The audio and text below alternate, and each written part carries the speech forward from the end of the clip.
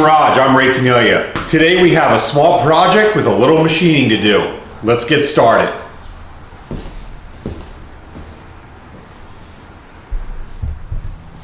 So my mom asked me the other day, uh, with, with all those machines you got there, you think you can make me uh, something out of metal? So I was like, well, it depends. Um, I can only do certain things. I'm kind of limited uh, to when you say make things out of metal. So she said, Well, I need a new address label for the house. She said, That old wooden one you made me years ago, just, you know, the weather killed it with all the snow and the ice. And so she wants something made out of metal that's going to last a little longer than uh, 15 years, I guess. so, anyway, um, I went to the hardware store and picked up these little numbers. Uh, they're hollow in the back. You know, if we would have made them from scratch, they'd be solid steel or solid aluminum. But anyway, uh, these are nickel coated steel.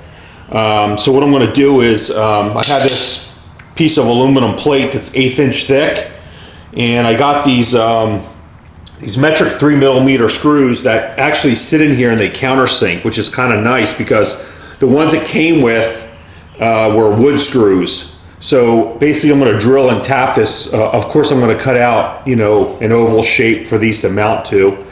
Um, so our machining job basically today is pretty simple. Um, make these little standoffs. I got to make six of them. Uh, these are 400 thousandths uh, long, eighth inch center hole and faced on both sides.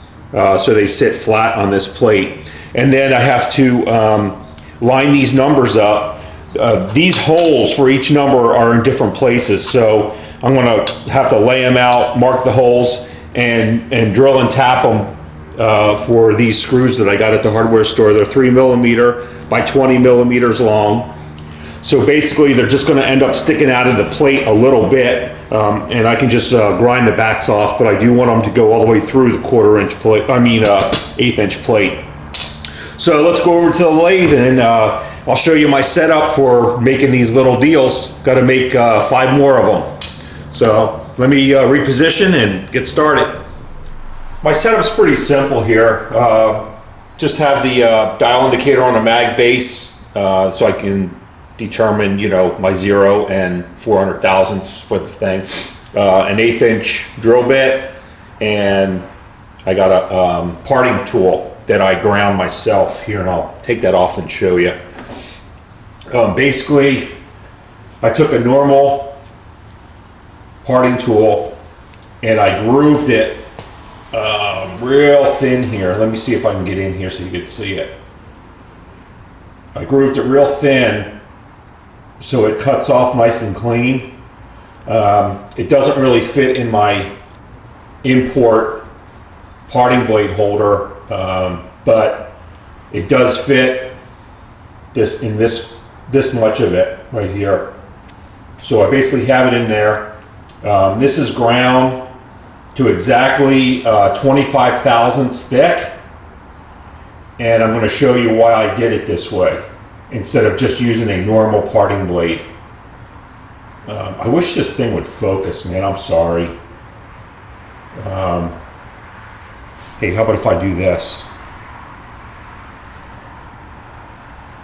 There you go. So that's just a uh, 25 thousandths thick parting blade. All right, so let me cut and I'll bring you in. Okay, the reason I did this, here, let me get the tail stock out of the way, is so I could bring my carriage uh, to its zero point on the dial indicator and then bring this guy in and basically use it as a stop just the tip of it as a stop right here. Lock down the chuck. Bring this back. Uh, do my center drilling first. And then since I'm on zero on the dial indicator, come over 425 thousandths. And then every single part will come out exactly right. Um, and it also saves me from having to face them because it's actually pretty accurate. Um, I made sure I ground it You know, so it didn't. It does have a taper on the leading edge and the and the uh, trailing edge, but it still cuts a pretty good part. Uh, the, that first one I did, I showed you earlier, came out to be 400,000. So um, I'll just repeat it uh, five more times and we should be good to go. So um, I need to reposition, reposition this camera so I can video it while we're machining.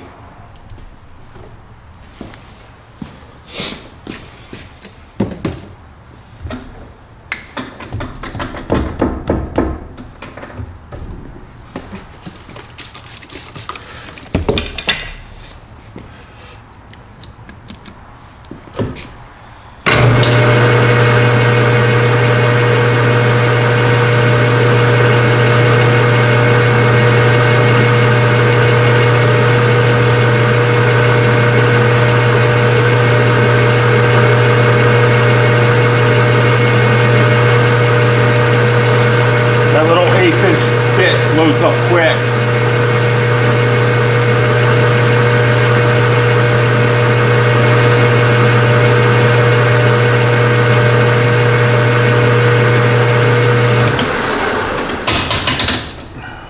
So now we're going to go in 425.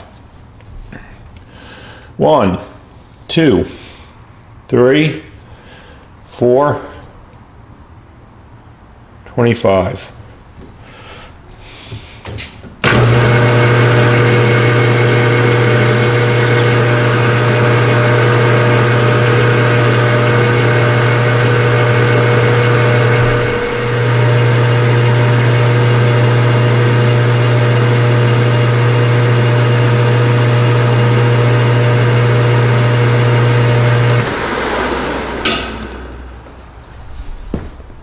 Okay, there's our part. Rinse and repeat.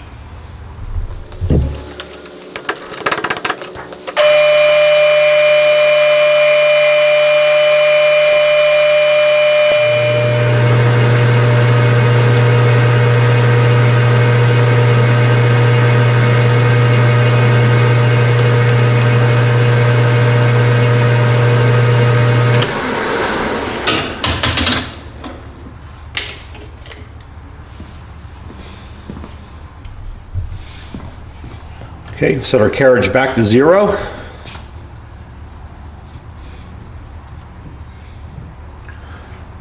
And I'm working around the camera stand here, so.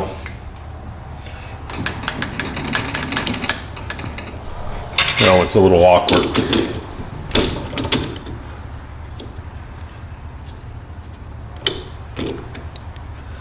Bring our part to zero.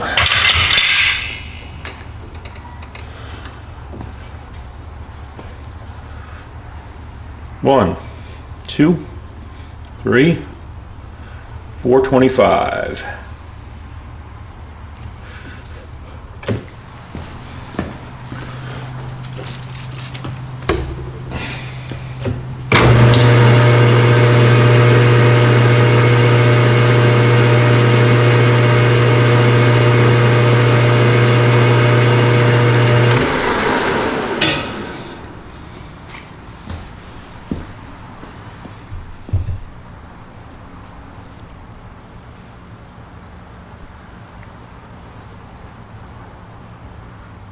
Get our little Noga whirly bird and clean those bad boys up.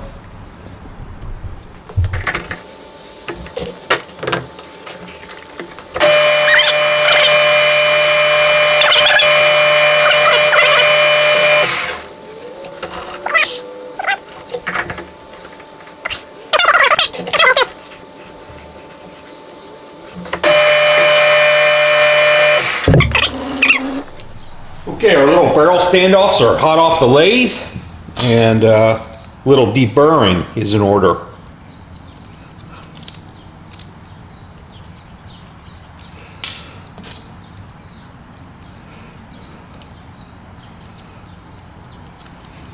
This has got to be one of my favorite deburring tools from Noga.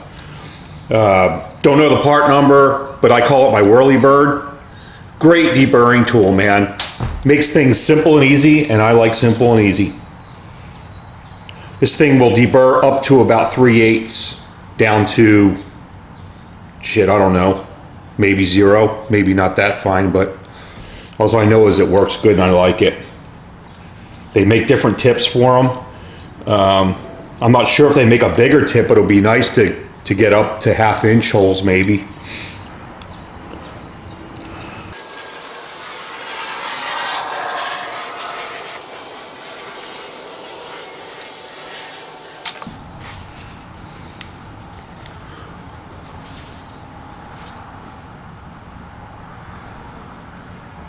Okay, next step.